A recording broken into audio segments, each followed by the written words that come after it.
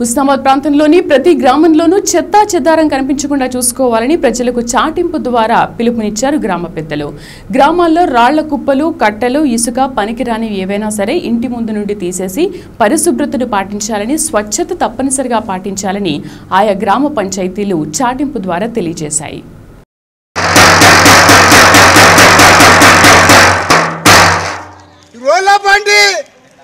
కంకరాలున్నా రాళ్ళ కుప్పలున్నా పొయ్యిల కట్టెలున్నా అన్ని తీసుకొని లోపల వేసుకోవాలి లేకపోతే రేపు ట్రాక్టర్ వచ్చి తీసుకుపోయి గాలి బయట పోతాయి